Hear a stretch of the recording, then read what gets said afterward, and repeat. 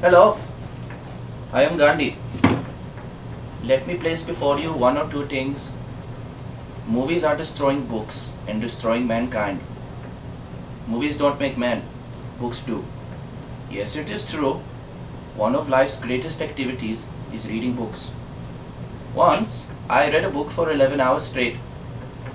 It is very hard to put a good book down, especially after reading for a couple of hours with your arm in the same position. Aye. So, my children, read to expand your mind, body, and soul. Hmm, not so much body. Continue reading, my children. Continue reading.